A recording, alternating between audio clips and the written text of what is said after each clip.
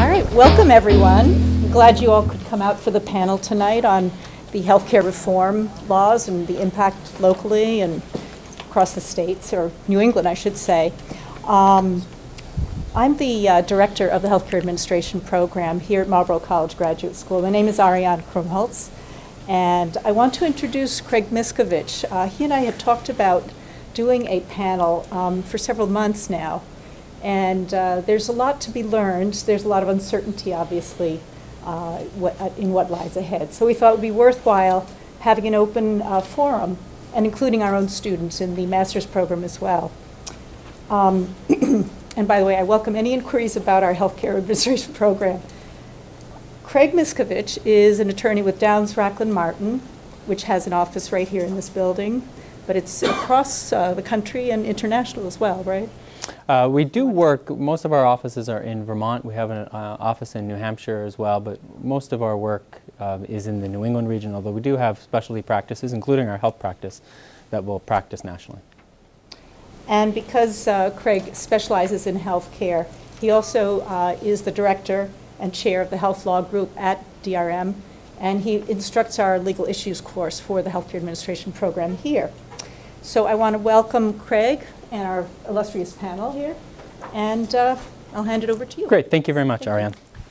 Uh, I've warned the panelists uh, that they're going to have a hard time uh, getting a word in edgewise. Um, I have a lavalier mic and a presentation, um, so I may have mislabeled this as a panel discussion. um, but I am sure that they will learn that they will have plenty of opportunity to speak to correct the errors in my presentation. Uh, let me first say uh, that it is a wonderful time to be a health lawyer in Vermont, New Hampshire. Um, it, it, is, it is no exaggeration to say that, that health lawyers these days walk around like, like rock stars, that everybody wants to know what's going on with healthcare nationally, what's going on with healthcare more locally, what's the Supreme Court decision how's, you know, how's Justice Kennedy going to go on that vote? Is it going to be 6-3? When's the decision? Um, all wonderful stuff, and we'll probably talk about a lot of it um, today. Um, but as good as it is to be a, a health lawyer, um, it is probably even be better to be one of these three esteemed, esteemed gentlemen.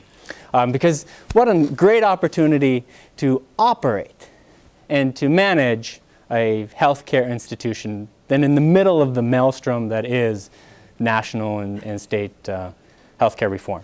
Uh, so we have a, a, an incredible panel, I mean, really no exaggeration. We, we have great folks who have great experience, who represent great hospitals, and, and will represent a real gamut of, of healthcare reform. Uh, we have a couple of um, acute care hospitals, one in Vermont, one in New Hampshire. Um, so I'm hoping that we'll have a discussion about the differences um, that those, the, expected uh, different treatment for those two facilities. Um, we have a psychiatric hospital um, in Vermont, uh, so we're going to be, uh, have an opportunity to compare um, you know, physical health and mental health treatment under uh, federal and state health reform. Uh, so we, we have a, a great opportunity to start to think about some of the ways that, that administrators are going to be challenged to implement state and federal healthcare reform. Uh, so first, uh, our first panelist is um, Steve Gordon. Steve's the president and CEO of BMH, uh, was the president of Good Samaritan Medical Center in Brockton, was the chief administrative officer at Children's Hospital, um, and, and uh, Steve uh, and I have a, an acquaintance in common. One of my um, best friends um, is a uh, pediatric transplant surgeon at Children's. And if I could do math in my head um, and could, could do the years of, of, of uh, residency that it would take, I think there's no greater job than being a pediatric surgeon, transplant surgeon at Children's Hospital. Um, Don Caruso um, is the Chief Medical Officer at Dartmouth Hitchcock Keene, and also an opportunity to talk about the, the relationship between Cheshire Medical Center and Dartmouth Hitchcock Keene, which is an affiliation that is, you know, not, not the kind of affiliation that we often see in the Vermont system, but, but in the New Hampshire system it's more, more prevalent. Um, and Don is the, or was the uh, uh, is, I should say, a, a, physician, has been a physician uh, practicing in family medicine, family practice, uh, over in the, the area, Keene area. Was the chair of the Department of Family Medicine and was the 2003 Microsoft Physician of the Year. Which begs the question, what have you done lately, Don? Right. Yeah, just nine years ago. uh, uh, and then finally, uh, Rob Simpson, uh, President and CEO of the Brattleboro Retreat, uh, formerly the CEO of Arbor Hospital and the Chief Operating Officer of Behavioral Healthcare in Massachusetts. Uh, so thank you. I really appreciate your participation and I look forward to tonight. Okay. Healthcare payment reform. So we're really going to focus on payment reform today. Um, and and I, I, give this presentation in various forms quite often. Um, and in most often, recently, I've been giving this presentation to chambers of commerce uh, and employer groups. Uh, and we'll talk about the health benefit exchange and some of the incentives that are built into health benefit exchanges um, and what the state and federal uh, reform effort might mean to those folks. Um, and so I think we'll keep the theme of incentives going, uh, but we're really going to change our focus um, to incentives for hospitals and incentives for, providers. Um, and so that's our focus now. We're happy to talk about you know, patient care issues and, and, uh, and employer issues and employee issues and, and all of that. But really, I, I think the, the panel would be able to provide the greatest amount of information about payment reform efforts and how they'll affect hospitals and, and um, and administrators. So what's the problem? What's the problem? Well, and Richard, you've seen this, I don't know, how many times have you seen this slide, Richard? This is, uh, this, you've seen this 50 times, I imagine. Um, uh, and I, and I, have uh, stolen this from uh, the Director of Healthcare Reform for the state of Vermont and a few other slides as well. Um, and I'll bash on hospitals for a while. Um, our hospitals spend too much or maybe we spend too much at hospitals, but uh, it, whichever way you want to look at it, we spend too much in America on our health care, both as a per capita basis and as a percentage of GDP. Um, and the numbers are pretty stark um, and getting starker, if that's a word. Um, and we also push too much of our burden for healthcare onto our employers.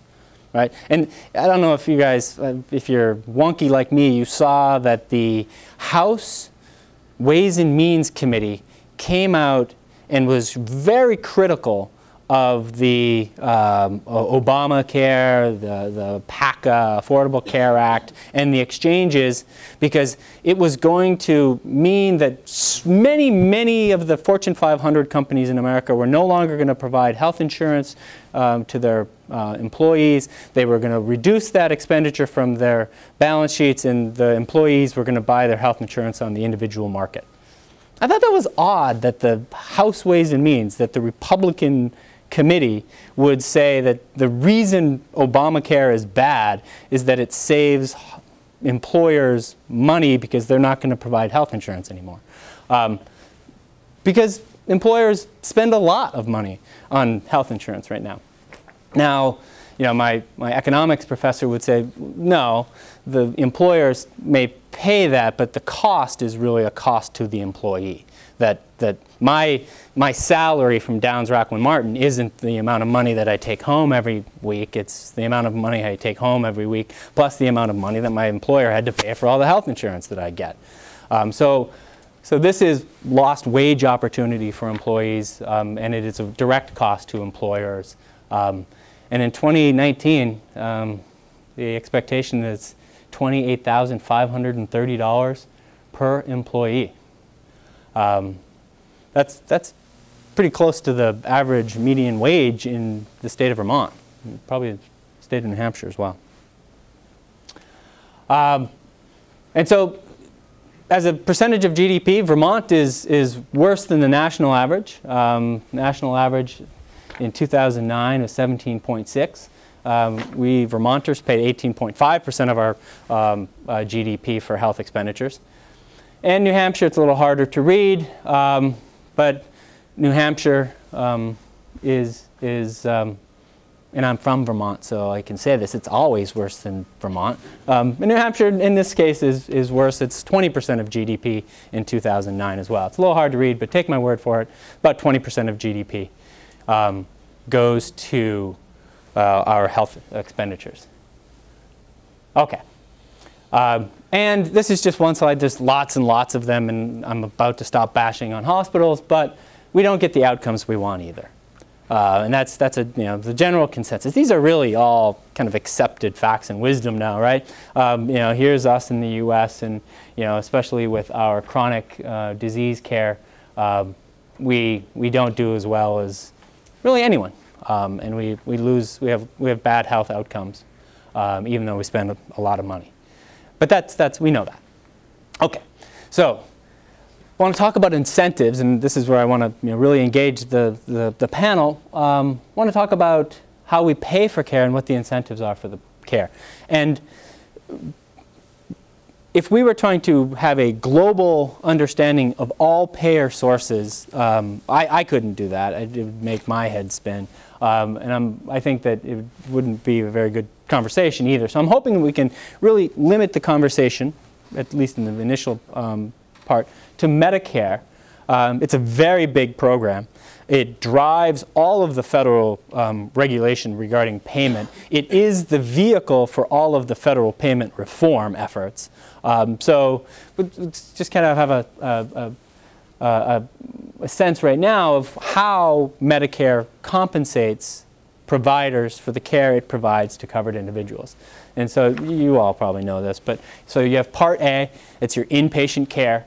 Um, and that's going to be made under the inpatient prospective payment system. We'll talk a little bit about that. That's your hospital payment. That's the amount that Medicare is going to pay to the hospital for the hospital care, for inpatient care.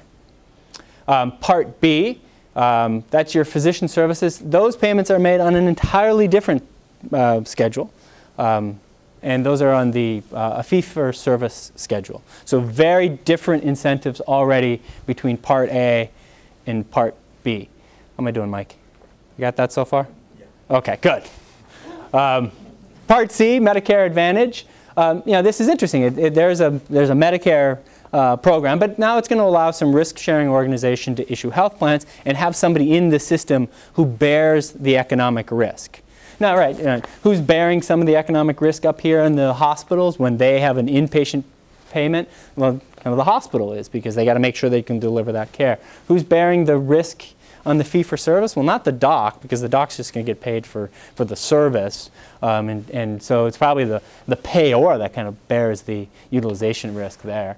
See the Medicare Advantage, now you have some risk sharing going on. And then Part D, I don't understand, so we'll move on because um, it's beyond me. Okay. All right, so here's how hospitals get paid. The hospitals get paid under the, again, IPPS, the Inpatient Prospective Payment System. Um, all patient illnesses and injuries are classified into diagnostic-related groups, or diagnosis-related groups. Um, and uh, you know, this might be a good place. How much time and effort do you guys and your staff spend on billing under the DRG system? Is, it, is, that, is that an easy and fluid billing um, process for you? No. That's a softball. Elaborate, Dr. Simpson. Well, if you take psychiatry, hmm. Uh, patients who are admitted on DRGs related to psychiatry, let's say psychosis, there's a uh, an average payment that Medicare gives, and if, if you're a if you're, you're a finance guy, you're looking at, okay, what's the average optimized payment I can get? All right, let's say it's after about nine days for psychosis. All right, so at nine days, everybody should be discharged according to the CFO, right, Mike? Absolutely. Nine days, they're gone.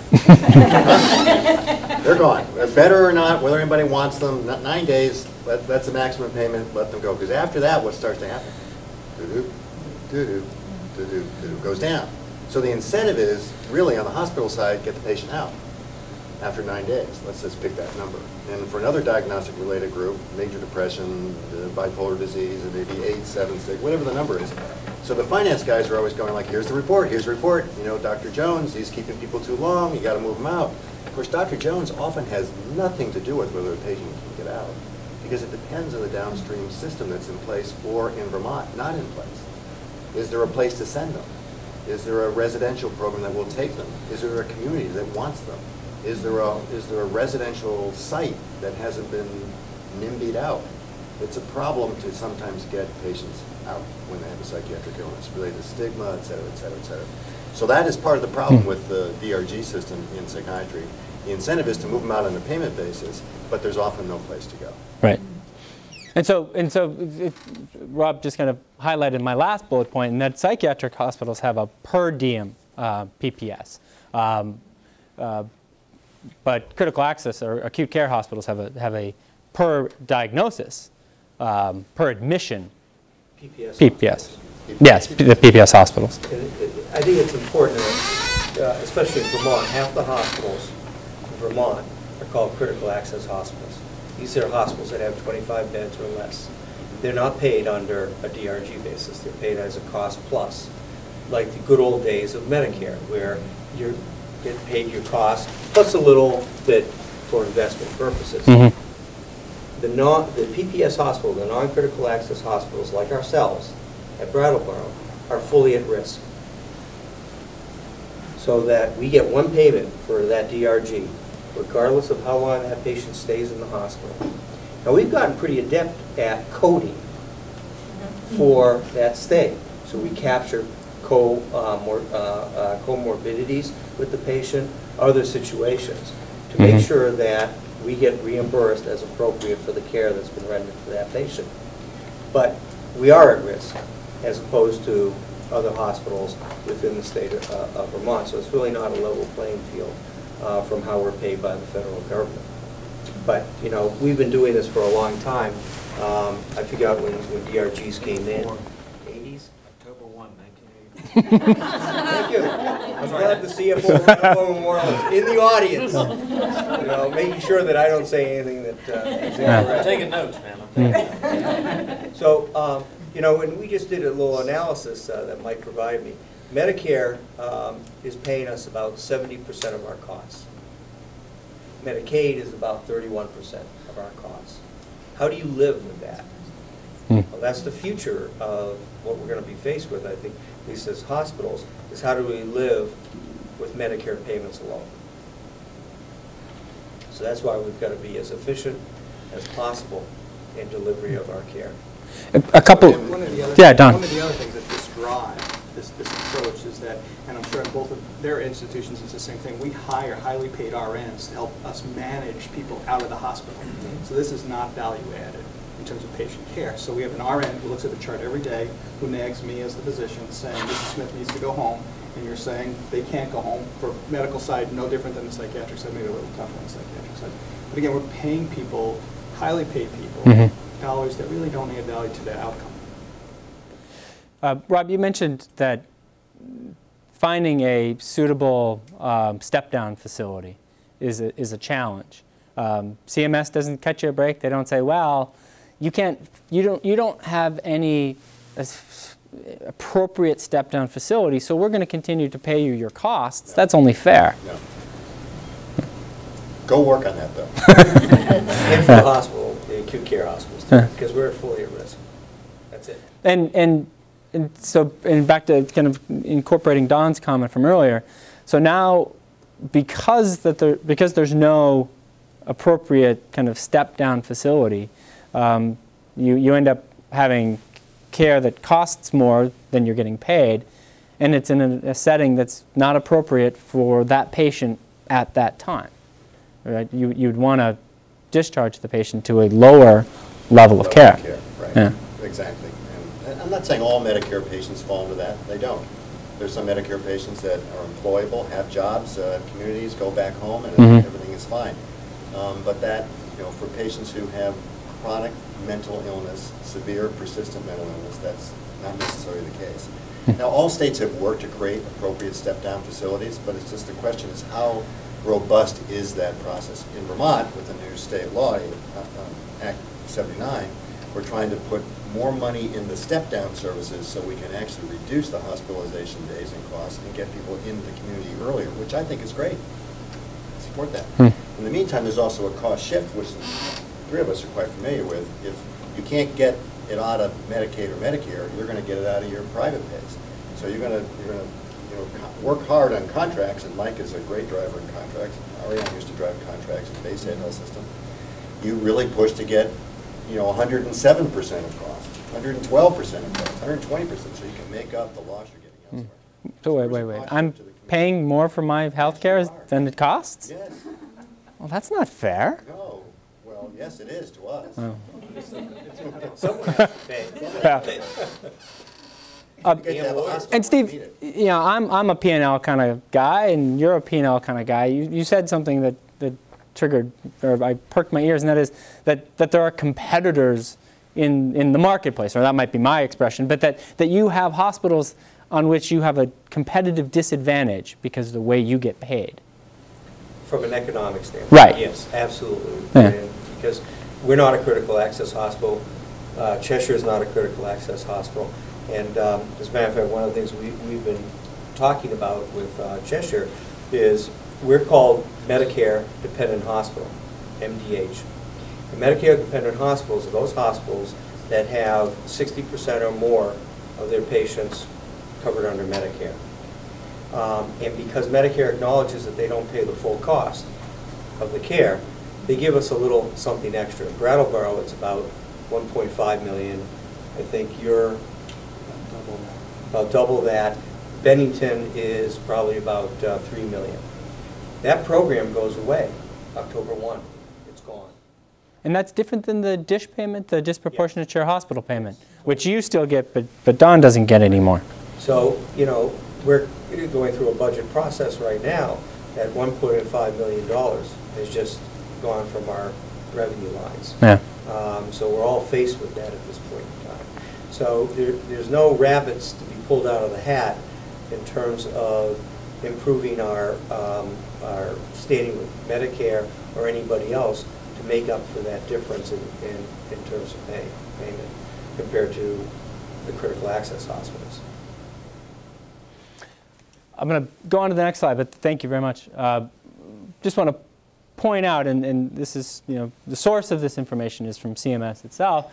So, and, and uh, Steve had mentioned it earlier that I, the uh, inpatient prospective payment system replaced the reasonable cost method where hospitals just got paid the cost of providing care. When that, when, when that happened, people respond to incentives. Hospitals respond to incentives, physicians, attorneys, everyone resp- responds to incentives. And there was a re- reduction in the average length of stay for hospital um, Medicaid, Medicare beneficiaries. But there was also an increase in the number of same-day surgical procedures in hospital outpatient departments and ASCs or ambulatory surgery centers. Um, and that's that, that ambulatory surgery center in, in Vermont is not a, a, a, it's not that's not a a common um, provider. But Burlington has a few. Just one. Eye eye surgery center. Uh, yeah, Singer, Singer Eye Center up there. Um, and New Hampshire, is that, is that a. yeah, more common in New Hampshire. Yeah, and, and, and this is another great contrast between the Vermont and the, the New Hampshire system is that the Vermont healthcare delivery system, at least at the hospital level, is exclusively nonprofit, really community nonprofits. Um, there are 14 hospitals, 14 hospitals in the state of Vermont, um, Fletcher Allen being about the same size as the other 13 um, combined. No exaggeration. Um, and and uh, all, each one of those is a nonprofit provi- nonprofit hospital. Um, with, and then within the hospitals, they have different delivery cares and different different delivery care models and different relationships to their physicians. But at the hospital level, at least, it's nonprofit. New Hampshire has a more varied um, hospital structure. Population density is much higher in New Hampshire than in Vermont. That's Yeah.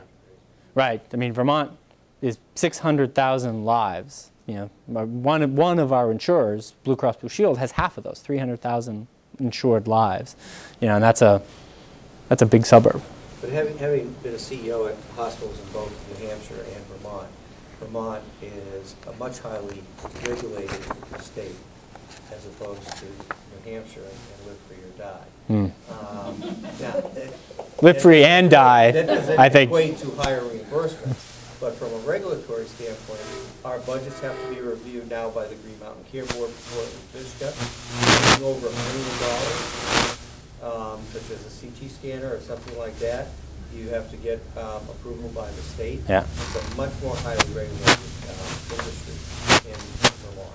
And we're, we're, we're entering into the first budget cycle with, with the, the with Green Mountain Care Board um, being the, with, with the review board. Um, and my sense, and you guys don't need to comment if you don't want, my sense is that that board is going to be far more aggressive than BISHCA was historically, and that the board is going to look at the budget process almost as a little CON process, that individual line items on the budget, individual pieces of equipment that might not rise to the CON threshold, will be scrutinized and approved or maybe denied through the budget process. And I think that's, that's a, that's a, Probably accurate. yeah. Any, I'm sorry to not seek out the comments from the audience either, but if you have any questions or comments, make sure to uh, interrupt me. So how do physicians get paid? Uh, well, physicians have it so easy. They, this is the gravy train. They just get paid to do stuff, which is also how lawyers get paid. So I don't want to be too critical of physicians, right? I think some professions should have fee for service. no capitated payment for lawyers. Let's not get crazy here. Um, yeah, no fee schedule either. Good point. Uh, so physicians are paid uh, national fee schedule, and they get paid for the stuff they do, and they get paid for the stuff that happens incident to the stuff they do, and they get paid for the stuff they order to be done. Um, and so this is when people rail against the fee for service, they're really railing against the way physicians get paid under the national fee schedule. And they're railing against the incentives that this kind of system implements and creates. Um, how many of you guys employ your docs? We- We do. Oh, Brattleboro is, uh, you know, um, we've experienced this in the last two years as um, a lot of the docs who came to Brattleboro in the 70s and 80s are now retiring, moving out of practice, that um, the only way to recruit new physicians into the market, um, which we need, are through an employment model. So we now employ uh, probably about 35 physicians, um, and uh, we employ the nurse midwives. And it's not just primary care, it's OBGYN, it's our general surgeons. And that is um, a situation that's really occurred in just the last, you know, two to three years. And what, um, so we're significantly behind in terms of uh, Dartmouth Hitchcock Clinic, which has always, you know, existed as a, you know, a strong physician-based model. So what that means is for our hospital, is I don't look at it at just us being a hospital, it's really creating a microcosm of a healthcare delivery system um, involving the physicians, involving the hospital, involving our outpatient services. And uh, we've had to build a significant infrastructure, which has probably taken us over a billion dollars to do that, for an electronic medical record in the physician offices, uh, for practice management, uh, for build, centralized billing and scheduling. It's been a huge investment on the hospital. When people think the hospital, they don't really think it's also the medical staff. And I would assume that probably over the next, certainly in the next two or three years, probably 90% of the docs will end up being employed. Um, And Brattleboro is actually behind in terms of where other hospitals have been in, in uh, certainly in New Hampshire and in, um, and in um, um, uh, other parts of Vermont as well. In Massachusetts um, has a very high penetration of employed physicians. And that's a big difference than what it was, I'm sure, Donald, you came out. So, yeah, about nine years ago, Cheshire Medical Center decided that rather than be competitive with, at that time was Keene Clinic, not Dartmouth Hitchcock yet, um, said, you know, we, we see things going differently, and rather than spending our money to hire physicians, we want to partner. And so nine years ago, Cheshire Medical Center and Dartmouth Hitchcock um, created a joint operating agreement. So there's a shared bottom line at this point between the medical center and the physician group practice. It's still an open uh, physician practice in the hospital, so anybody can come to Cheshire Medical Center. I can tell you probably about five years ago, we couldn't hire physicians into the multi-specialty group practice. People want, docs wanted to stay in private practice. Now, every day we get people asking, docs asking, do you have anything? Have people calling me for pediatric rheumatology where there's absolutely no need. I mean, that kind of demand for being in a group practice. And a lot of it is economic. And why do they why do they want to come out of the cold? Big part, well, when we talk to primary care guys, a lot of it really has to do with economics.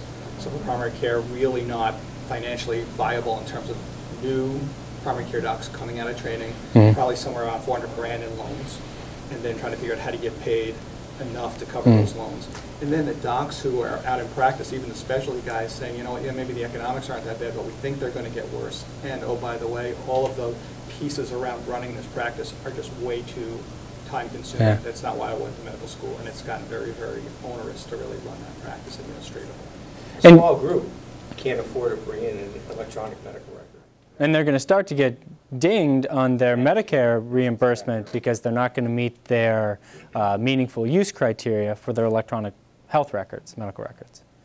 Uh, Don, you, you, you, you said that it's not economic, economically feasible for some practices, some, some groups, and especially new docs to, um, to be in private practice. Is it economically feasible for you to hire them or to have Cheshire um, or, or Dartmouth Hitchcock Keene? Or is there a kind of a cost shift going on even amongst practices? Do you, do you have lost leader practices? Yeah, and, and so there really is cost shifting that occurs within the medical group. And there's cost shifting in our arrangement between Cheshire Medical Center and Dartmouth Hitchcock Keene, because you, you put up there the x-rays and radi- radiation therapy, and those, those still live typically within the hospital structure, and they're still highly reimbursed. And so in, in a sense, some of that money, that reimbursement really flows into the physician group practices, because who orders those tests are the physicians. Now, there's a lot of stark regulation, a lot of legal mm-hmm. pieces around ways that that can't get actually done, but there are ways that you can actually say the physician is part of the group practice, they get paid a certain sum of money, and we flow the money within the multi-specialty group practice, because essentially, it doesn't matter if you're a family doc in Keene, DHK, or you're family doc who works in the city of Keene, the dollars, the reimbursement's exactly the same.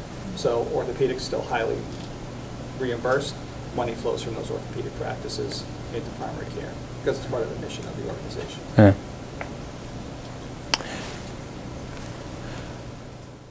Okay, so if that's how the world worked yesterday, um, here's how the world might work soon. Uh, so this, these are the federal payment reform efforts inside of Medicare. Again, that's where most of the federal payment reform lives. It's the largest program, um, and it's a good opportunity to, to try these particular care improvements. Anyone, no one here is, is participating in a bundled payment for care improvement program, are you? We looked, we looked at it with um, the state of Vermont and the Green Mountain Care Board, as they're looking at payment reform, and this was one of the areas. But um, you've got to have a substantial um, um, volume of orthopedic cases, of total knees and hips. Um, You can't do bundled payments for a smaller number, and that's why we at Brattleboro, it was not going to be um, feasible for us to do that. Mhm.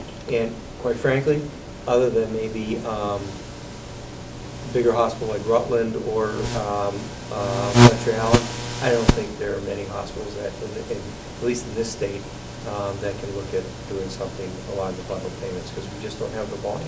They're, in general, very small hospitals. Yeah. Anyone in New Hampshire doing this We have stuff? the exact same issue. Dartmouth is doing it. Big Dartmouth is doing it. They have enough cases. We look at it for orthopedics, which is probably the only real viable Right. one, but we don't do enough cases either. Yeah.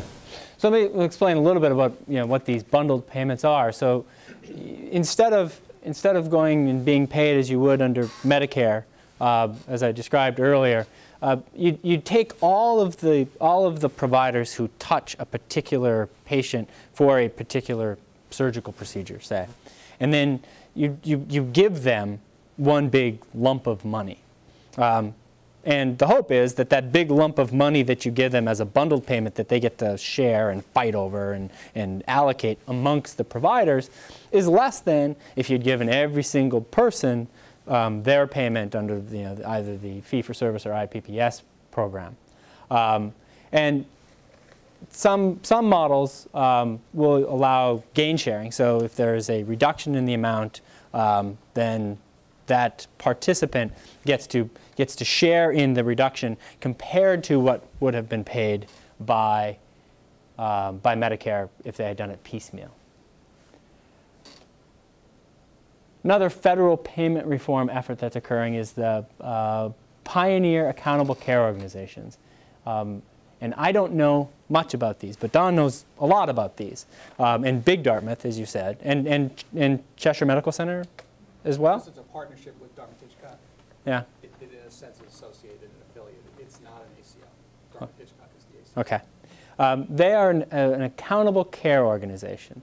And this is, this is going to, the idea is that it is going to change the incentives dramatically. Um, and so at the end of this program, um, you may have an organization that gets paid on a population-based model. So they get paid money for, I think in the first two years, there's kind of a shade, shared savings. Medicare says if this type of treatment would have cost a million dollars, but you were able to do it for 800,000, so you know what? We'll split the pot. You get 100, we keep 100. That kind of shared savings in the system. Um, but then if you, if, if you have a hospital that wants to bear that economic risk, and this is a lot of economic risk, and it's hard to imagine you know, hospitals without substantial resources and really good payment histories and, and understanding of their, their patients um, to doing it. You have to have a lot of data. And they say, you know what, bring it on. Bring on everybody in the community. We'll take all comers, and you just give us a fee for doing that based on a per person fee. Um, how's it working? So we have, have yet to see what act, the actual financial outcome is. Yeah. So the first year really has to do with pre- preparing.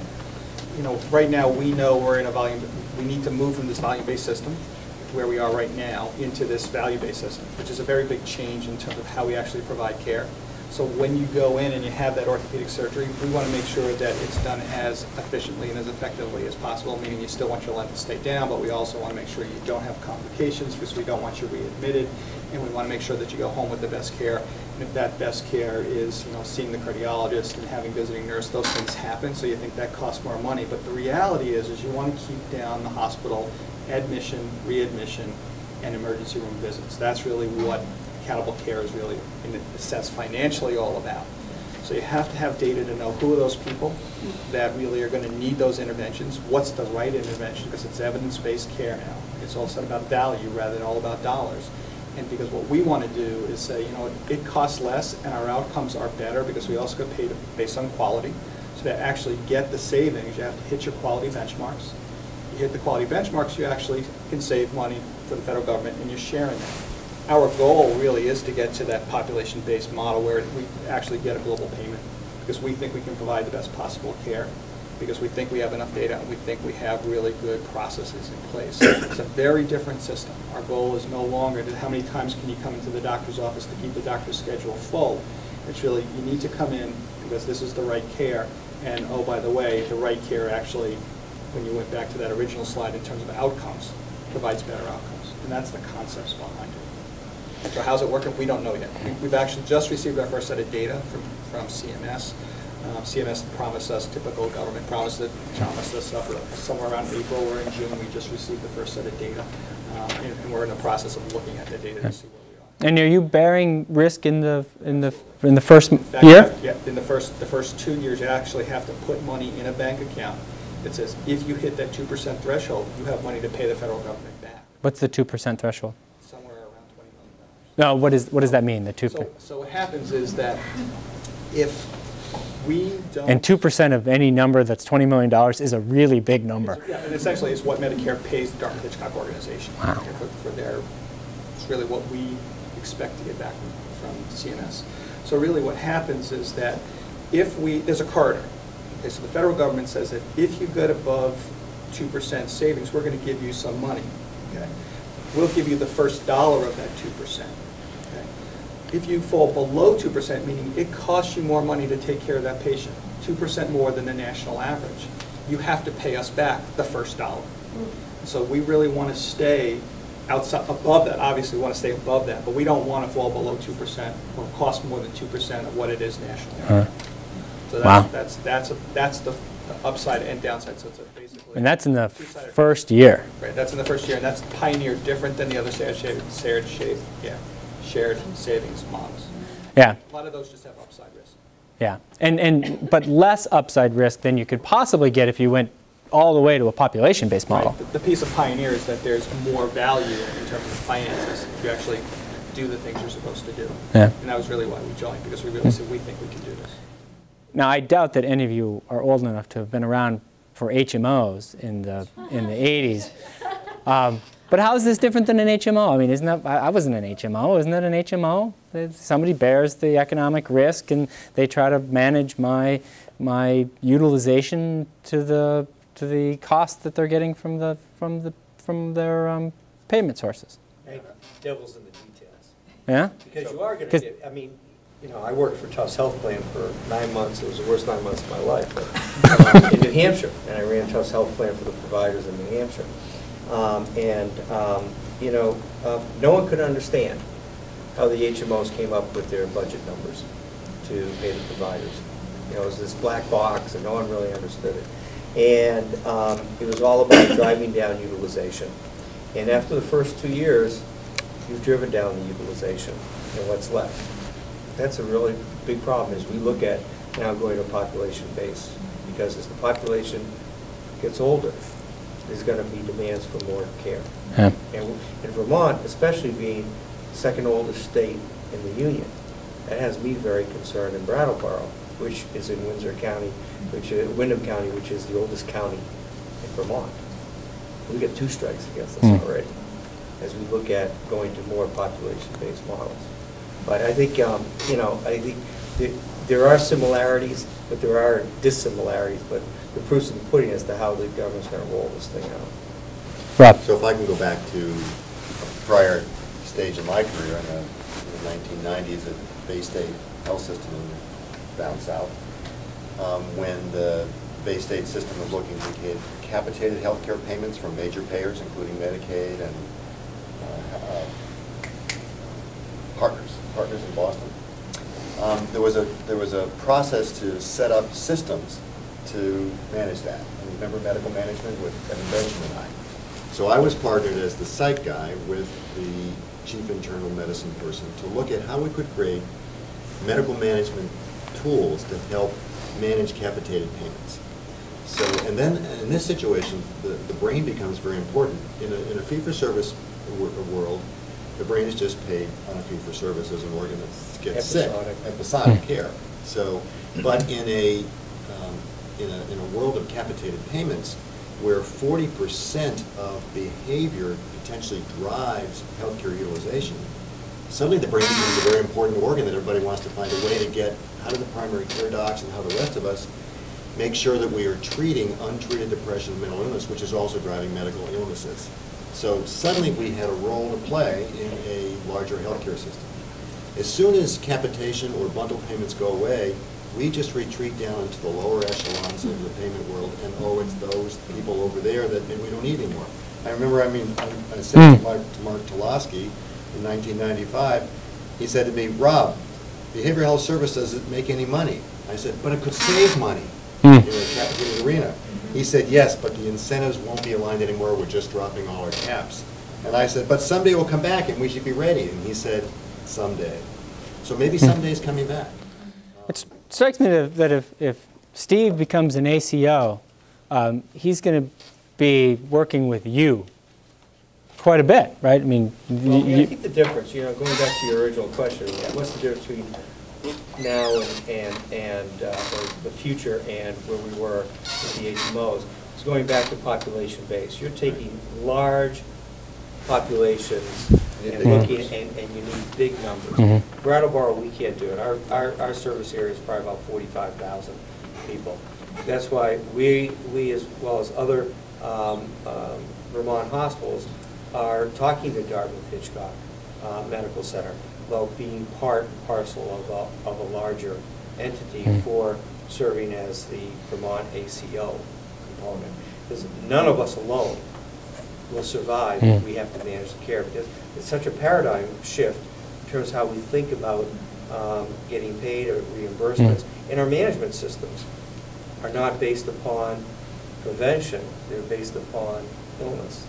So it's a Hmm. big shift in how we're thinking, we don't have the tools. In to small populations, there's too much potential variation toward escalation of Hmm. cost on two or three single cases can blow your whole budget right out of the water. You need to have millions of people in the bucket. Yeah. There's also two other things that- that are very different. So one of them is that, and one of the reasons that managed care was so unpalatable, it really had to do with patient choice. And a big piece of Pioneer ACO, but shared savings models, is that patients still have choice. They can choose their PCP, they can choose to go anywhere. So that, that ability is really critical. The other piece is that there really was no quality intervention that was paid. There was really no value. It was all about utilization, and it really wasn't about how do you get the, the best care. And so that, Hmm. that really starts to drive a very different value-based approach than really where managed care was back in the 80s. You mentioned that you just got the data. Does that data include your patient satisfaction and your quality? It- we- it- Patient satisfaction is, is a portion that's, that's mandatory within Pioneer CA Yeah. So we won't see that because the federal government won't implement it. And the federal government is, we actually have done it in Dartmouth for many years for ourselves, so we kind of know where we are with that. Yeah. Federal government has basically mandated a certain company to do this in the first year. We'll see that Hmm. data in October. Any, any anecdotal evidence? How are things going? Um, You know, one of the things is that we actually had to do, because all, with the Pioneer ACO, it's it's highly regulated in terms of what the federal government will allow us and not allow us to do. Any type of messaging to patients um, requires federal government appro- approval. So if we do any kind of marketing, they have to look at the marketing material. What the initial letters that went out to the patients telling them that they were going to be part of a Pioneer ACO if they chose, and the question that was asked of those patients was, will you share that, that data, okay, with your physician? Pretty clear. Mhm. About three percent of the patients responded, and they were more basically saying, no, the federal government can't have my data. The Federal government already has the Mhm. data. But in fact, there was really no pushback in terms of the concept of, of ACO and really how, how it applied to their care. So that's, that's the, the only anecdotal stuff we have so far. So, what do you guys have to change in order to move from a fee for service world um, or an IPPS world or what the world you're in now to a world in which, you know, maybe individually or collaboratively you're getting paid on some sort of capitated basis? And- one, sure. give you one example, it's going to be idiosyncratic to psych, and, but if you're, if you're in a general medical hospital or a tertiary care environment, like Baystate Health System in the 90s, we did a study, uh, we looked at what percent of patients in those hospital beds for other diseases, cancer, cardiology, cardiac problems, et cetera, what percent of their illness is driven by depression or addiction? And 25 to 40 percent of their illnesses were driven by those problems. The fee-for-service system would say, treat the medical problem, transfer and refer on to the psych unit or the detox post. In a bundled care system, you'd be having consultation liaison psychiatry in there immediately assessing the disease burden of the, of the, of the psychiatric and addiction issues and how they could be mediated to drop the payment and care of the, of the, of the chronic medical mm-hmm. institution. And That would change, that's a, that's, so the psych people become compliance related to getting patients to be compliant to the care, they can follow their medical regime. Patients who have depression and illness are non-compliant to medical problems post-hospitalization. I gave a present. I gave a presentation at. I'll throw. I'll fall on my own sword here. I, I gave a presentation at VAHHS a few years ago, in which I talked about WRVUs, and this is the way to incent your physicians to work harder because your physicians who come in from the cold, they also come in and they start to act not like the entrepreneur that they were when they were out in their private practice. They start to act like me as an employee. Uh, and I, my, my productivity goes down when I'm not the entrepreneur. So I said, you know what? Let's, let's have all our docs get paid on a WRVU basis.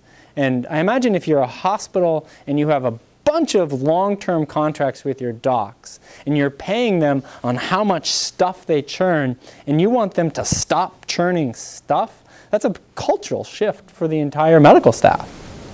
It goes back to what Dr. Caruso was saying, it's all about quality. And that's the difference between the new population-based model as opposed to the old model of uh, HMOs, which was really based solely on utilization and driving down utilization. Um, I think what's going to happen in, in this state, because we're a small state, is you're probably going to have two ACOs potentially developed. One around the Dartmouth Hitchcock sphere, because a number of us use Dartmouth-Hitchcock as a tertiary referral source. So, you know, whether it's ourselves or um, Springfield, Mount Ascutney, uh, Bennington now is is moving towards um, uh, Dartmouth-Hitchcock. So you have a southern tier of hospitals um, with, around that sphere, and then Fletcher Allen, you know, which is two and a half hours away, having other hospitals. So I think, it- you know, I think from my standpoint, you'll see a sugaring out of two kind of major um, developments in in terms of. Geographically driven. Geographically dri- driven, because you've got to be linking yourself to something bigger, because you want to get to a population base that makes sense um, financially. Um, And uh, for us, 45,000 people um, is is not that number. Which- Which is a great um, segue, Steve, to our, our next slide, which is the Vermont payment reform efforts. And um, it is fair to say that New Hampshire really isn't playing in the, the federal Affordable Care Act arena. You want to pretend it's going away. Yes. In, in, in, in fact, New Hampshire did three things, and I'll, it- it's, I think they're great. They did, it- they did it two years ago, they, so they didn't do it this year, but two years ago they did three things. They, the legislature ordered the governor to sue the federal government, um, as if the legislature can order the executive branch to do something. That's a great constitutional issue there. They also passed a law that said, notwithstanding any law that the federal government passes, no New Hampshire person shall ever have to buy health insurance. Um, another great constitutional issue. I think we fought wars over that particular one. Um, and then they also said to their insurance commissioner, we don't want that dirty money. So whatever money you got to implement the health uh, benefit exchange, return it to the federal government. We don't need, we don't need it. Um, Vermont has taken a dramatically different um, approach. So here's, here's and, and Richard Slusky can talk about this, uh, the director of payment reform in Vermont, far, far, far better than I can. But there are three kind of current models for payment reform in Vermont. There's a bundled payment model, um, and hospitals uh, are uh, participating in that. Hospital physician budgeting models, um, and then uh, population-based global payment, hopefully um, soon. But I think the bundled payment's probably the one that has the most momentum right now. Um, but Vermont administrators should be on notice that the Green Mountain Care Board is not hiding the ball. They are not being sneaky about what they want to do. This is what they want to do. This is from the Green Mountain Care Board annual report. All roads lead to Rome here, and Rome is population-based payments. That even if it starts as a bundled payment, it's going to move to a population-based payment. Even if it starts as a hospital physician budget, it's going to move to a population-based payment. That that is the mechanism by which the state of Vermont wants to move its payment reform. Probably not in the interim step of the um, health benefit exchange, possibly some, somewhat in, in that um, interim step, but more so um, with the implementation, implementation of Green Mountain Care. Um, Significant problems with doing that. There's a lot of Sure. of people across the borders, uh, employees, employers. That's going to be really hard to wrap themselves around that. yeah. and- and How many- Small numbers, How many, how many folks do you serve who are not from Vermont? 40%. 40%. Wow. So if you got paid on a population-based payment, We'll be talking to a lot of ACOs. Hmm. yeah. And so you could get paid, you could get paid for your Vermont folks, but you're still going to have to keep your other payment systems for folks from Massachusetts or New Hampshire, or New York, or wherever, because Vermont's not going to pay for them. And they're probably not going to pay you either. Those states aren't going to pay you either. Uh, Well, that all depends on how. On a, on a population-based system. Yes. Yeah. It all depends too, in psychiatry, how many hospitals stay in the game of running psychiatric units in a bundled payment system, Mhm. where the incentives will probably be very low and difficult to manage it appropriately. They may just decide, we're not going to run that psych unit. Don't know, I don't know. Yeah. We'll have to see. All depends on the incentives created. Okay. Um, what's going to happen with the federal reform? Now, so- not all of this goes away. uh, if the federal reform law, the uh, PACA or the Affordable Care Act, derisively Obamacare, um, goes away. Um, and the, the Supreme Court right now has four questions in front of it. I'll go through them quickly. Uh, one is, is the expansion of Medicaid constitutional? Um, and uh, in Vermont, we didn't much expand our Medicaid. I'm not sure. New Hampshire, was the New Hampshire Medicaid at 138% of poverty prior to the Affordable Care Act? At least that, yeah. So there was no expansion in Medicaid in Vermont, uh, in New Hampshire Medicaid either. In fact, some programs in Vermont under our um, global payment system that we have are, um, what do they call that? Is it not the, is it the, the, the contract we have with Medicaid to cover Medicaid patients, um, and they give the state of Vermont a single global payment. Is it called global payment? You're talking about federal? Yeah. Yeah. Uh, the, the- in Vermont, there are some programs, um, Dr. Dynasaur, I believe, that goes up to 400% of, of the poverty level uh, will cover will cover kids. In some states, um, you could be at so the federal government said Medicaid has to be at 138% of poverty. It can be higher if you want, but at least 138% of poverty.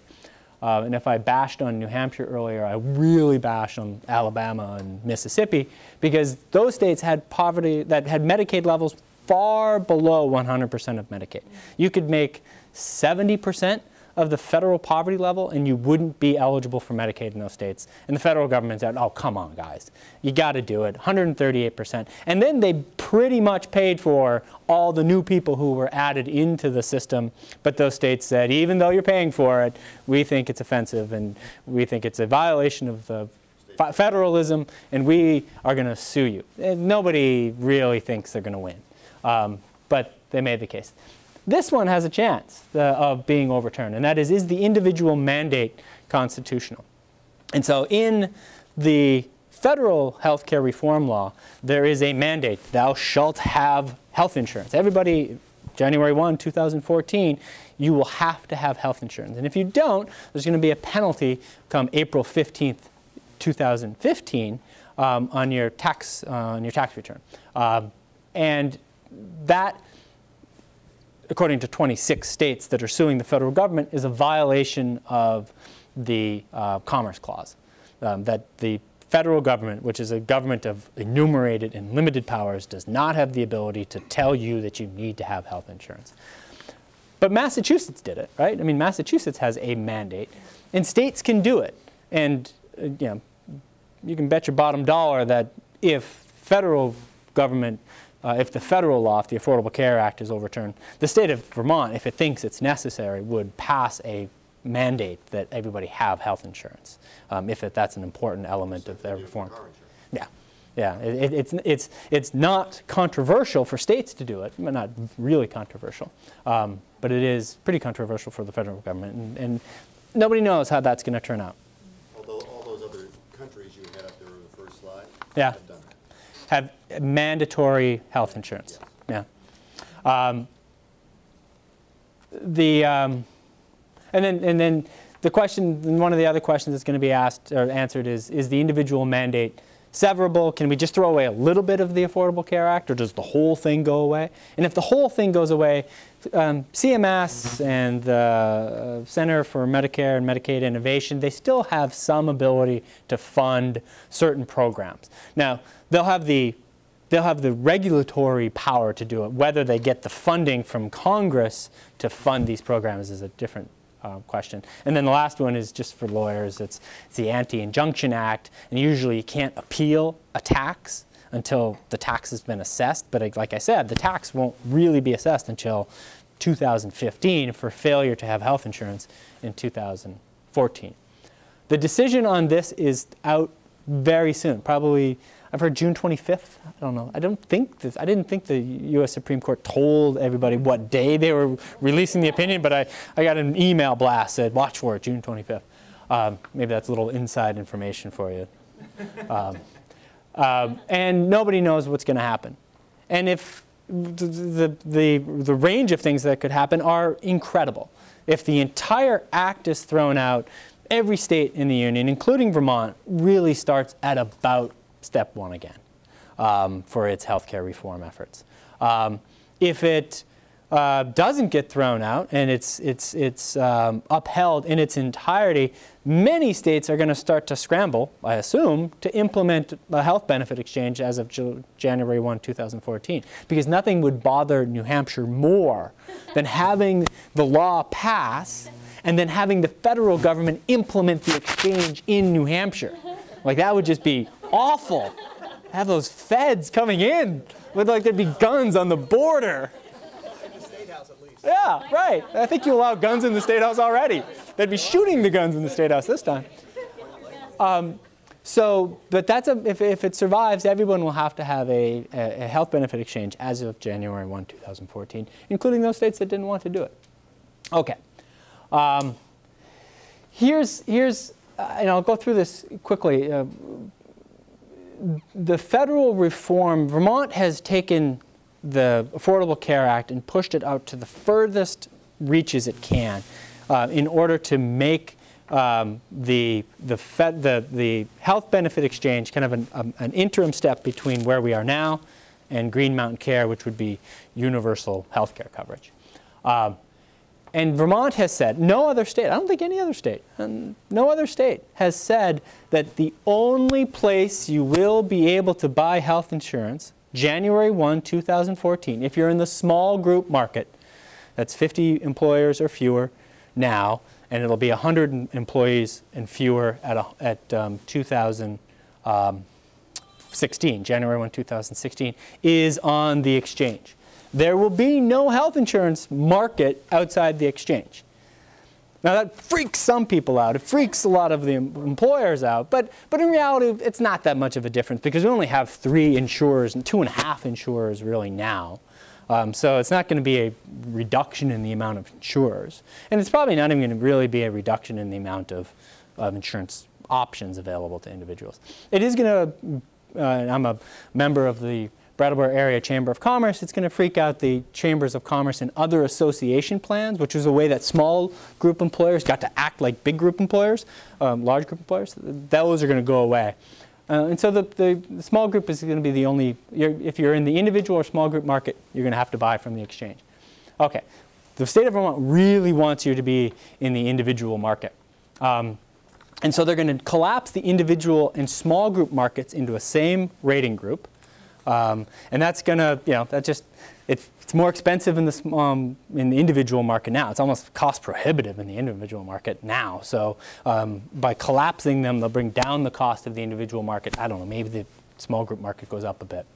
Um, and they optimistically think that large group employers um, will, who want to come into the exchange will do that in 2017. Okay, why does the state of Vermont want this? Um, and why does the state of Vermont really, really, really want the Affordable Care Act not to be overturned, at least certain portions of it? Is that individual federal tax credits are available only through the exchange and if only if employees purchase individual, not employer-sponsored product. So those tax credits, you do not get them if your employer sponsors a health plan for you. You, you, you, you get the the you know you get the insurance your employer sponsors, and you're going to have to pay some, probably what you pay now, but you don't get the federal tax incentive. Um, and the state of Vermont wants to, in an interim step, decouple health insurance from employment with this particular provision. Um, and tax subsidies, um, or tax subsidiaries, I'm not sure what that means. Um, it's a fancy word that's used incorrectly. Um, tax subsidies um, are phased out at 400. Drew, I asked you to like prove that. Um, tax subsidies phase out at 400% of the poverty level. That's for a family of four, it's $92,000. That is well above the median family income in Vermont, which is like $50,000, $55,000. Um, if you go, there's a great website. I always mean to put it on here. I never do. Um, if you go to uh, Kaiser Family Foundation um, website, you can put in you know, a, a median family income and it will tell you how much money in the individual market with the federal tax subsidies that are subsidiaries that are already um, described, how much people would pay. I did, I did it $50,000. I said, family of four, $50,000. How much would that family of four pay if they had to buy their health insurance on the individual market? Any guesses? When, when, January 1, 2014, when uh, the Affordable Care Act goes live. The, I'll tell you what the insurance, they assumed that the insurance would cost $13,000 a year. The family of four who made $50,000 would pay two.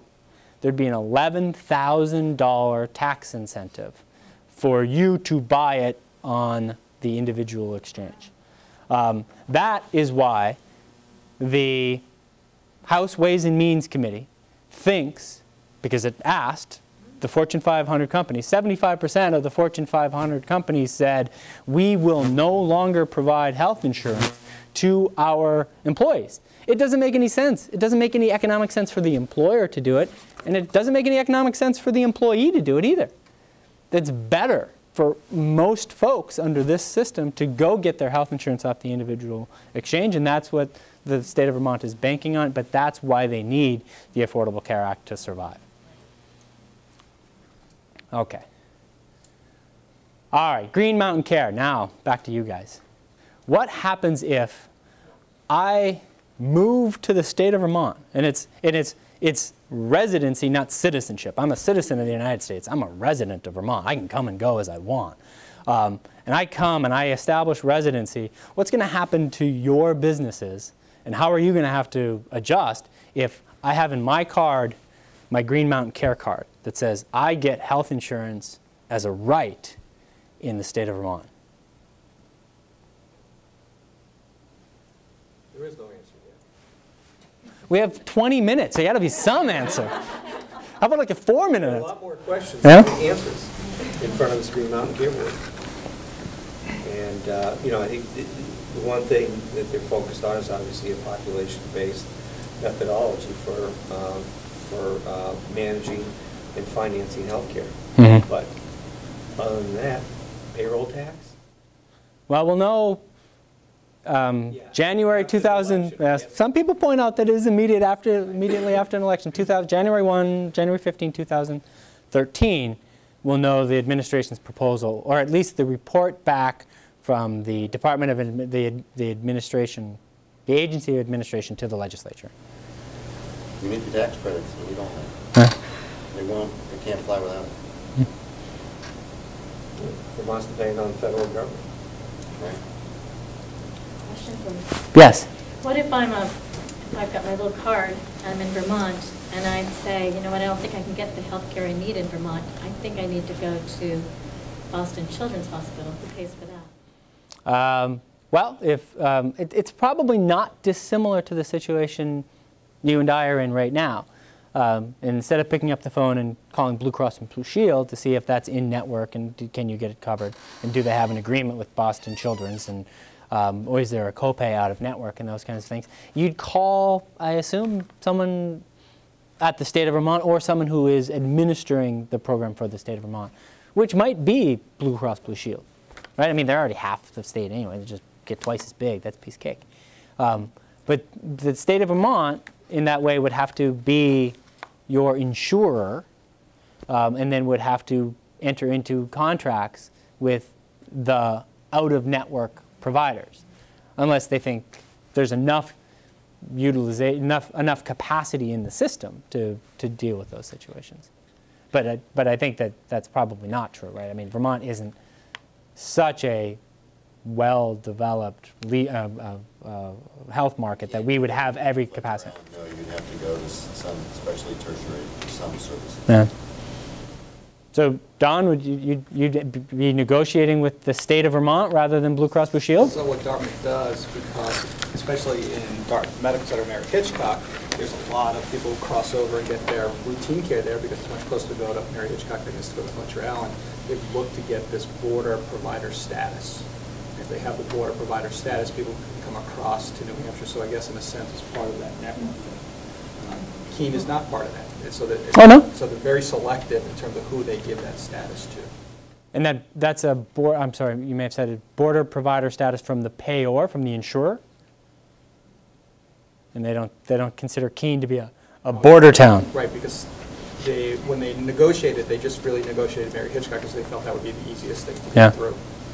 And so despite the fact that a lot of people do come to Keene for some of that, that some of the things that they might normally have to go up to Lebanon for, technically they can't. Hmm. We see them, we don't get paid. That's what happens. And did you say that 40% of the people who are treated at um, Dartmouth Hitchcock are across the state from New Vermont? What, what, what percentage are folks from Vermont who are treated at Dartmouth Hitchcock? Yeah. We've heard that forty percent, yeah, mentioned. Yeah. So in a way, you know, Dartmouth Hitchcock's kind of in the catbird seat, where you're just outside of the regulatory reach of the state of Vermont, but you provide care to a lot of Vermonters. But they don't have to pay. The, Vermont the, doesn't have to pay Mary Hitchcock, patients hmm. go there. yeah. So that, that's the part where they have to make sure they get paid, because they'll provide them. All states do that. They- They pay the out-of-state providers less than they pay the in-state providers. Mass basically doesn't pay anything more than New Hampshire pays Vermont less than they pay New Hampshire, and Vermont pays New Hampshire and Mass less than they pay the in-state providers. All evens out. It's like poking each other in the eye. And New York, forget about it. Yeah. Twenty percent of the bill. when I give this presentation to employers, they freak out. They freak out at Green Mountain Care. And part of the reason they freak out is because it's, it's you know, I keep using the expression, I'm hoping it's going to catch on, it hasn't yet, that universal health care coverage is difficult, difficult to implement without a Navy, without controlling your border, without having all of this cross-border movement. And, and I mean, that's not a criticism of the Green Mountain Care Board. It's not a criticism of Green Mountain Care. It's, it's just a reality of the federal system that we live in, where we have this free movement between the states and among the states. And so my employers, every single time, I've done this 20 times, every single time somebody says, well, the greatest proponent of Green Mountain Care in Vermont is going to be a New Hampshire employer on the border. Because every morning, all of that employer's employees are going to wake up in Vermont with that Green Mountain Care Board, you know, that Green Mountain Care card in their pocket, and they're going to come across the border, and they're going to bring with them all that health care. And that's going to be a competitive advantage for those employers versus these employers because these employers can be taxed by the federal by the by the state of Vermont. Those employers can't. So those cross-border issues are thorny and the Green Mountain Care Board and the administration acknowledge that they haven't figured them out yet. Um, but they are going to be very important if we move past the exchange. So, you know, we don't get to the exchange unless the Affordable Care Act survives. Um, we don't get to Green Mountain Care um, unless we solve these rather thorny kind of cross-border issues. Yes? The penalties set up for these large businesses for not providing care kind of offset the hope that people will go to the individual market? Isn't that kind of counterproductive? That's a great question.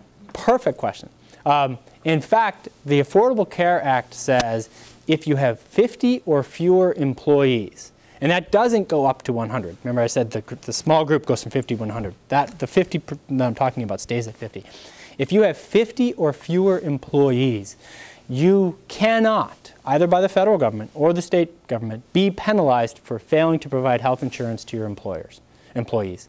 Now, the state of Vermont currently has a, has a, if you don't provide health insurance to your employees and they participate in a state health care program, that you as an employer have to, part, have to pay. Um, you will not have that as a, um, a small group, uh, a 50 or fewer. But remember, the, the poll that, or the survey that the uh, House Ways and Means Committee sent out didn't ask 50 some small group employers with 50 or fewer, and they didn't ask 100 or fewer. They asked Fortune 500 companies, what would you do? And they all said, or 75% of them said, we'll cancel our health insurance for our employees because the penalty for them is $2,000 per employee. And so they think, even with the $2,000 penalty, it makes economic sense. Or you know, if, if the House Ways and Means Committee is to be trusted, um, which is you know a, a debate. Uh, but if the House Ways and Means Committee is to be trusted, then large, even large group employers will cancel their insurance. Even in those largest 500, um, uh, the Fortune 500 companies, none of them provide health insurance to their employees. I'm pretty sure they're all ERISA plans. They're all self-insured. They're not kind of the way everybody else has health insurance. They are large enough that they're self-insured. They'll cancel their self-insured plans too, or at least 75% of them will. We're getting close to seven, and um, I am done with my slides. Um, so I want to give you guys an opportunity, to, uh, if you have any closing thoughts and comments about federal healthcare reform, state healthcare reform, what it's like to be a, a hospital administrator these days, and challenges you have in front of you. You're looking at me? Yes, you. You know, I think, you know, forgetting about, for a moment, on up in Montpelier or in Washington, we're going through a real paradigm shift locally with um, our physicians, which, um, as I mentioned before, we're moving more towards that employment model. We now have all of the, all of our inpatient admissions being cared for by hospitalists, not by the primary care physicians. So it's a whole new specialty now that has, has, has developed. We're looking at, you know, having to make some substantial, you know, capital improvements in the hospital, uh, especially with an upcoming emergency department. So we have a, a lot of pressures on us, both from, you know, that the physicians are going through, and, um, uh, as mentioned, and Don mentioned as well, new docs coming out. We've got to be able to recruit the physicians that are now retiring we have to have a viable model uh, to um, recruit and manage those practices. And for us, it's cost over a million dollars right now uh, for that new system. So um, huge number of pressures, huge number of changes just in our own Brattleboro system of, of care here. You layer all that on top of getting paid less. We're not going to get paid anymore, we all know that but now getting paid less and the pressure is being pushed down. And I think one of my biggest concerns about Green Mountain Care Board and kind of Vermont's approach is that there's a lot of utilization that can be driven out of the system and saved, um, you know, to go to these kinds of programs. And I'm very concerned in, in, in our area here that I don't see that much excess utilization of our services in Brattleboro. And that's been shown actually within the state's own um, studies and statistics that um, in Windham County and in Brattleboro, we have the lowest utilization within the state of Vermont for healthcare services. We don't have that big margin where you can start ratcheting down care. I think we're pretty close. I'm somewhat concerned that sometimes we don't have enough utilization for some screening mammographies, things of that nature. That has me more concerned as well. So I'm just, I'm nervous as, as, as we all, as this all plays out, and also it's playing out in Montpelier. They look at the southern part of the state as kind of a little bit of a different uh, area, maybe part of New Hampshire, part of Massachusetts. So I've spent a lot of my time uh, educating our legislative delegation about the, you know, pressures that are here in the southern part of the state and part of uh, uh, Brattleboro in particular, because it is going to be a political um, agenda up in Montpelier as we look at um, um, a new system of care for, for um, you know, for the state. Thank you. Rob, you? Well, on the retreat side, the last three years, the retreat has gone from a hospital of uh, filling about 50 beds to a hospital that's filling 100 beds every day. And also with ambulatory services, partial hospital, outpatient services, residential care for children. With the Children's Hospital for the state, recently we've become a player in the state hospital for adults in the state. Um, So one of, what clearly worries me is as this, as our hospital has grown and been a tertiary care environment for specialty care for psychiatry and addiction, that people come across borders, they look for specialty care. We provide some niche services. We provide a- the only LGBT inpatient psychiatric unit in the East Coast. We provide specialty services for uniformed service workers, policemen, firemen, veterans who leave their states, 20 to 25 states. People come to the retreat for that. What will happen when we create ACOs and people will be limited in where they can go? I worry about that for the retreat's future. Um, At the same time, as a citizen, citizen of this country, I believe we can't afford that curve that you showed in your first slide. I completely agree about that. And it's not right to have um, so many people who get their care in emergency rooms, who wait for preventative care, who wait to the last minute and the disease has moved on to a high cost. Sometimes costs like something that can't be fixed and waited so long. I worry when our children now, between the 18 and years of 18 and 26, when they graduate from college, now they're covered under Obamacare. They have insurance. How many, how, did I have insurance when I was 22, 23, 24? I didn't have it. I would never have paid for it, um, unless I had a job that the employer paid for it. And I worry about young people who may have the beginning signs of illness, particularly psychiatric illness, which comes in their 20s. If they're not covered by insurance, then they're, then they're in a system that is very unsure of them, for them in the future. I worry a lot about that. So I, I, I like the trends where the retreat has gone, our growth, et cetera, but there are a lot of risks on the horizon. I think Vermont's too small to carry the risk, this, in this idea. I think we have to have full service account Obamacare to make it really work. All the tax incentives to be lined up. So I'm really looking forward to June 25th. June 25th? Don? So one of the things we talk about is, is sustainability. And in Dartmouth, we know, and I think all of us here know, that the healthcare system, the way it's set up right now, is unsustainable. The problem is, is I don't think the population in general in the country knows that healthcare is unsustainable, and that the population just wants more. And, and from my perspective, the, the way we get reimbursed drives the concepts that cause us to have this unsustainable approach. Really, fee-for-service just drives more care when we can't pay our bills, we just do more. As a physician, if you cut how you pay me for that specific unit, I'm going to do more units. Mm-hmm. And we, we all do that. It, it's just the wrong approach to healthcare, and it really drives that unsustainable model. So what Medicare will do is they'll say 2% across the board, everybody gets cut. Well, you know what, in Texas, in Florida, they probably can afford a 2% cut in terms of how Medicare gets paid because they get paid at a much higher rate than we do in the Northeast. Those, that 2% will affect us here in Vermont, New Hampshire, so much more than the rest of the country. And so for us, really the answer, the burning platform is come sooner. You know, we have to change. We have to change into a different model of care. Is ACO the right model? I don't know if it's the right model, but we have to move from a fee-for-service widget approach to just driving volume into some kind of value-based approach. Mm-hmm. And that people who are out there who begin to understand this might start to think about what really should my health care be because I can't afford $10,000, $20,000 for that health care premium and that I'm not getting the outcomes that I should be getting because I, you know people come into me all the time. So I have I have Cadillac insurance, just do all the tests. Well, forget about the downside of doing all those tests in terms of the bad outcomes or the things we do to you that are iatrogenic. But really, the dollars it drives, it's just unsustainable. We have to begin to have the rest of the population look at this, understand where we are, and not just say, well, I'll just, you know, it's okay, I have insurance. And that, that's, that's the problem for our country.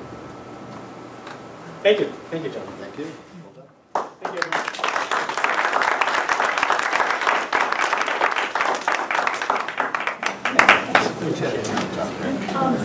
Thank you, they're refreshments outside.